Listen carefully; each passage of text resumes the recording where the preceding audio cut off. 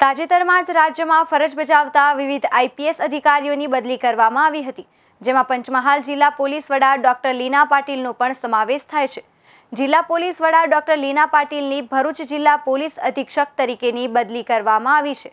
ત્યારે આજરોજ જિલ્લા પોલીસ મુખ્યમથક ખાતે જિલ્લા પોલીસ વડાનો વિદાય સમારંભ યોજવામાં આવ્યો હતો.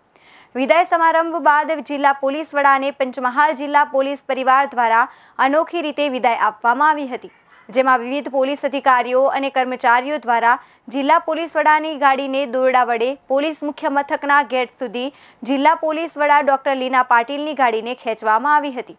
ઉલ્લેખનીય છે કે ડોક્ટર લીના પાટીલે પંચમહાલ જિલ્લા પોલીસ વડા તરીકે ત્રણ વર્ષ અને આઠ માસ ફરજ બજાવી હતી. તેમના કાર્યકાળ દરમિયાન તેમણે જિલ્લાની કાયદો અને વ્યવસ્થાની સ્થિતિમાં અનેક સુધારા લાવ્યા છે. જિલ્લામાં થયેલી કેટલીક ઘટનાઓમાં મહત્વનો ભાગ ભજવીને સ્થિતિ પર કાબૂ મેળવ્યો હતો.